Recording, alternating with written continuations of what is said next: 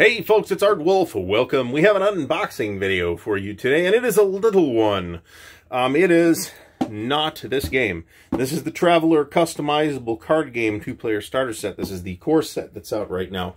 What we have to unbox instead is the Aliens of the Imperium expansion, um, which is one of the two expansion products available for this, and I thought it might be interesting to go through it. I almost did an unboxing video of the game, but it would I didn't want to take the cards out of the cellophane, so it would have been a, a the world's lamest unboxing. Uh, this one I will actually take apart. So let's settle in here for a few minutes. As somebody who is kind of a big Traveller nerd, I was kind of interested. I'm going to take the cards out of the bottom because I feel like it will be less trouble. So we have here something like 60 cards, 60 cards come wrapped. So let's see. I haven't tried to play this yet. Um, the other thing that's available right now is the Beowulf Free Trader deck, which I would be all over, but there is a Beowulf Free Trader deck in the box, so I'm unclear as to whether that's the same free, free trader deck or not. Um, in addition to that, um, there's some there's some both some playthrough video on YouTube, which I would encourage you to check out, and there's some unboxing stuff on YouTube for the core set, and there's some instructional stuff.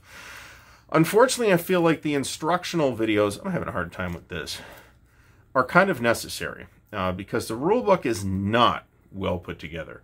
I can tell you that. The game itself looks fine, and from what I have seen so far, it looks relatively neat, and it looks like I will like it. Uh, but certainly the rulebook is not structured in an optimal way. One of the things that the rulebook that the that the game does is to well, I struggle with the cellophane, um, is to be be very heavy in the use of these icons, and that's fine. Um, but unfortunately, the rulebook uses them too instead of the words that they're to describe. So you'll see a sentence like, "And then you must," where wah is the some icon, and you don't know what the hell it is when you're learning the game. So let's see what we got here. We got uh, some of these, uh, the, the the sort of reddish card deck, and the other is this. Now these are this like the like the missions.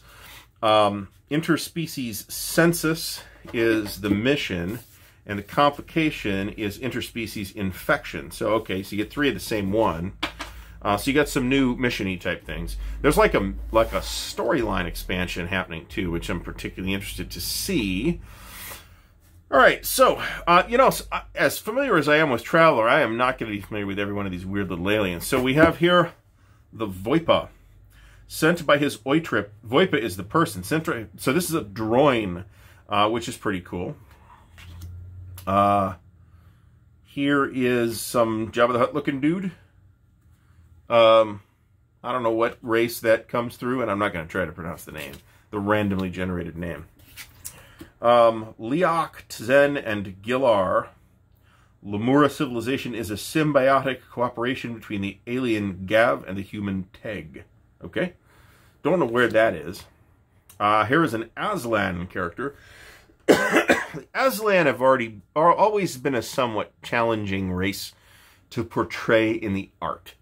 Uh, because aside from Dave Deitrick, everybody kind of makes them look like lion men, which kind of is what they are, but they should be just visually distinct from that. Uh, but we got an Aslan guy. We got some...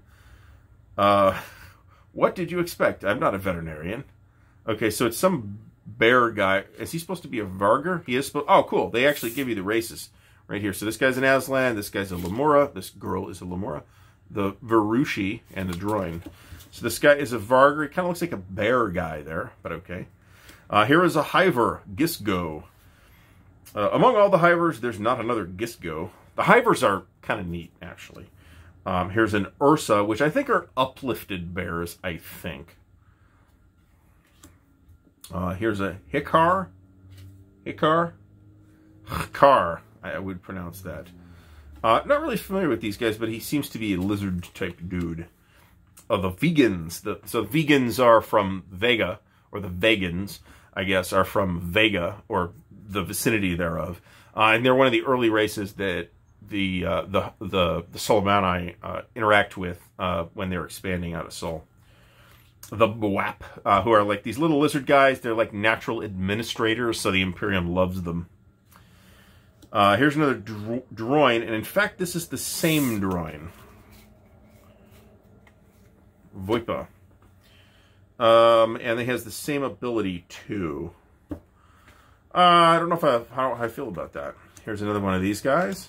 Another one of these guys. Okay. Here's the Ursa guy. Here's the the car guy. Here's that guy. Here's the WAP. Okay, so it does kind of look like what we have. Now, now we get into different stuff here. So we do have duplicates. There's like four of each of these uh, individuals. Uh, but then we have these uh, exploration mercantile cards here. So you get the Alien Quarter Market, the Sophont Workers Union, another one of those, another one of those, another one of those, another one of those. Okay, here's uh, a Darrian character. Okay, not sure I, I, ever understood the Darrians as being into facial tattoos, but whatever.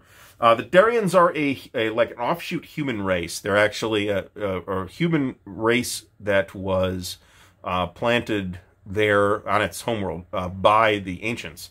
Um, and they evolved along somewhat different lines. They're kind of space elves or and kind of Vulcans, um, between which there's a significant overlap anyway. Um, okay, Jeeves, the berry. This guy is, I don't know what the hell those are. Here's our uh, Darrian guy again, and here's Jeeves again. Here's another one of these.